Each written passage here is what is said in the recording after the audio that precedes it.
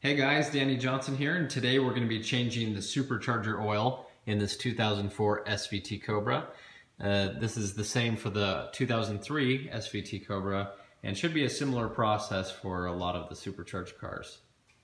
Okay, so you want to take the car around the block for a minute, just get it warmed up, not scalding hot, but just warmed up enough that the oil is going to be able to flow a little bit better.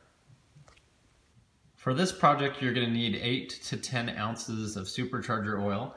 And so the Ford part number for this is E9SZ-19577-A. And that's going to cost you $30.34 per 4 ounce bottle. Or you can use the GM, which is the same thing because this is uh, for the Eaton superchargers. Uh, the GM one part number 1234-5982 at $12.85 per four uh, ounce bottle.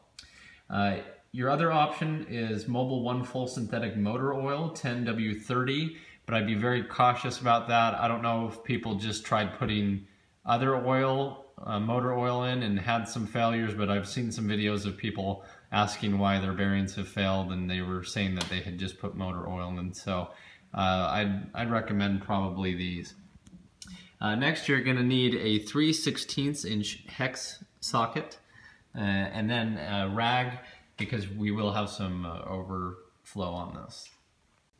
If you want, you can put the car up in the air on a jack stand.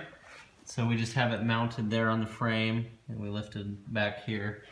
And what this will do is when you break loose the drain and fill plug, this will help it from uh, leaking out as bad. I'd strongly uh, suggest using gloves because the oil does smell really bad. You'll want to place a rag down in here and let it be a rag you don't mind throwing away when you're done because uh, this oil does smell real bad uh, when it's used.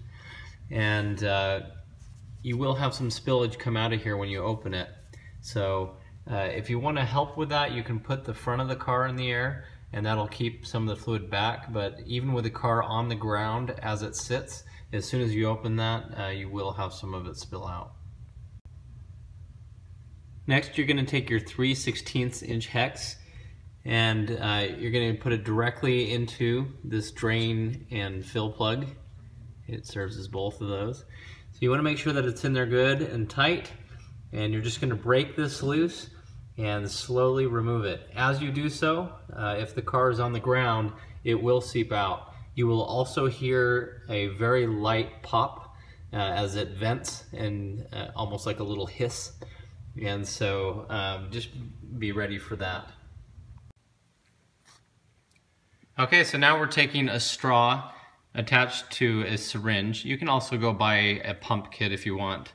Um, but anyway, it just has to fit down into this little hole. Now right when it goes in, you'll hit a wall straight on so that you've got to go in and straight down. So feed the straw in into there and feed it downward. So now as you draw the syringe backward, you'll see you'll be able to siphon the fluid out.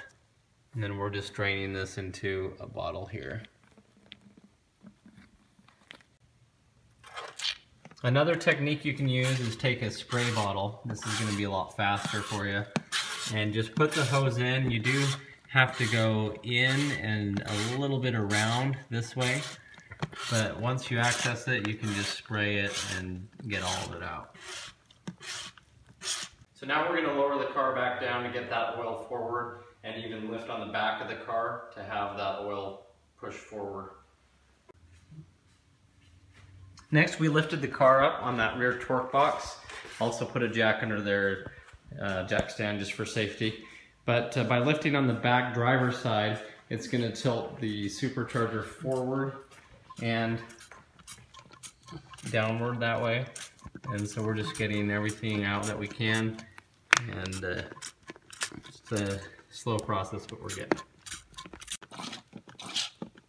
Okay, so along the way you'll need to reposition that straw and just keep moving it around until you strike oil. We should be extracting about 8 ounces worth. Okay, so now we've taken an empty container that uh, is going to help us measure this in ounces. So we're going to take the fluid and pour it in here and just see how close we are to our, uh, to our mark. All right, we're about six ounces right now. So now to fill the supercharger with new oil, we're going to lift the front of the car in the air to tilt the supercharger backward.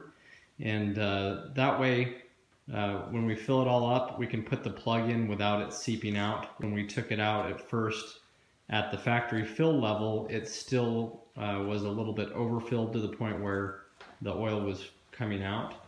So if we have the car in the air like this and we go to put the oil in, we can put the uh, plug back in without it seeping out and it'll just be a little cleaner this way and we won't lose any oil.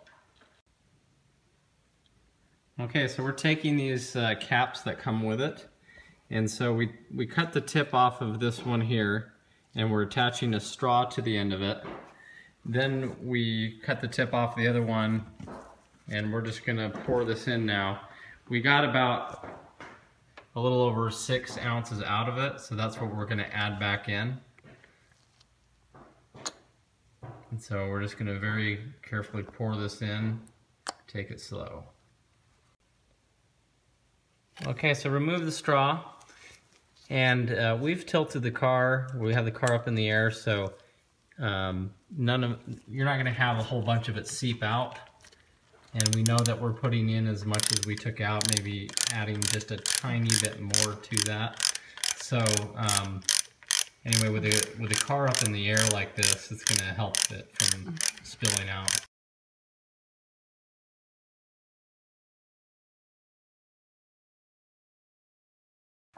Now just wipe up all the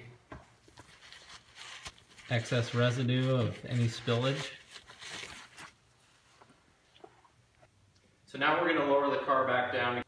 Okay, then go ahead and start it up just to make sure everything's good.